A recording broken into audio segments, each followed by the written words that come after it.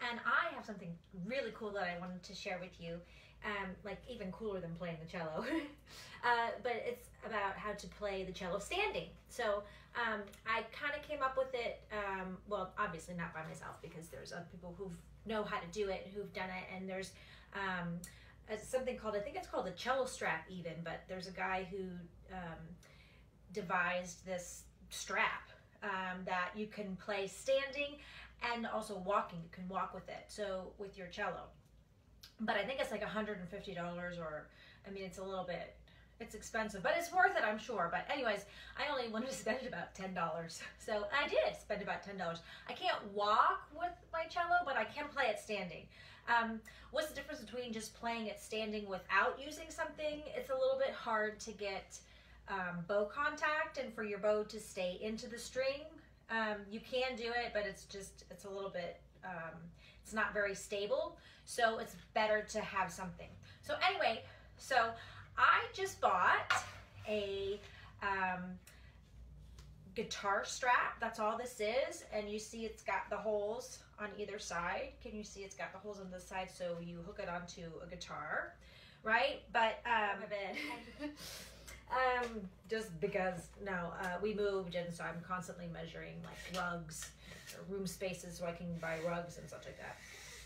Anyway, so um, let's see how long this one is. I have it set out to 50 inches, so just over four feet. And I need, I need all of that um, length. So that's how long this one is. This brand is a um, ProTech. But then what I got is a little hook because you need some a way to attach them together. So it's just like a little S hook kind of thing like that. Um, it's similar to what IKEA sells for when you hook your um, pots and pans onto the little rack thing. So I'm gonna just put it through the hole. Oh yeah, I have to get my cello. So my cello, I take my end pin out almost all the way. I'll leave about like an inch. Leave about an inch in because otherwise it's a little wobbly. So I have my cello up ready standing. And it's harder to play. I mean, it, you can play, like I said, standing up, but it's really not that easy. Oopsie, I'm already slipping.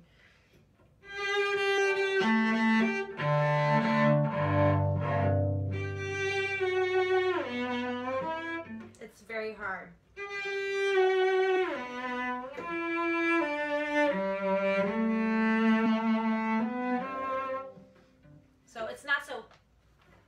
Yeah. I'm, I'm slipping a little bit here and and what I what I have is I have my foot, my knee like back behind the instrument, so it's kind of keeping the instrument balanced. Which you can't really see, but like I'm on my toe, I'm like that. So.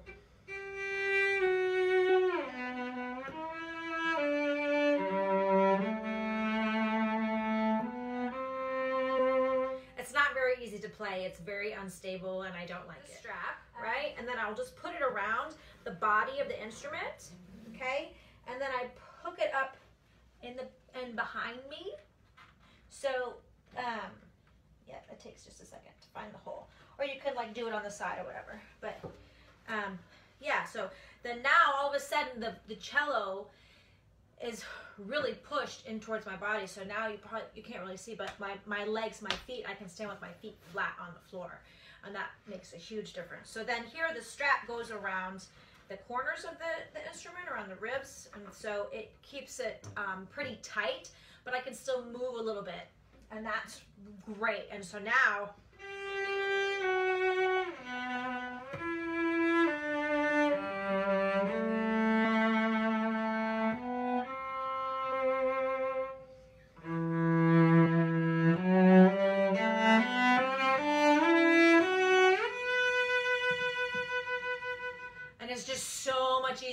play. Like I can move a little bit. Before it, I'm kind of, I'm struggling to hold it, and so anyway. So the, the purpose of standing to play for me anyway is um, I sing jazz and and play cello, um, and then I'm co-writing some tunes where I play cello and sing and such. So it's good for that, and like I've gigged with my cello standing, and it's great. But also like if you are uh, i've done some quartet gigs for weddings where the violins and viola they were standing and i was sitting and so it looks kind of funny so like for weddings some wedding gigs if you do those or like any kind of quartet gigs or you know whatever if you're playing at a gig you can stand with the other uh, with the other with your group members and um, yeah i think it i mean it just looks better it looks great it has you know you have to change a little bit of how you play but not really much. Um, so i definitely recommend it.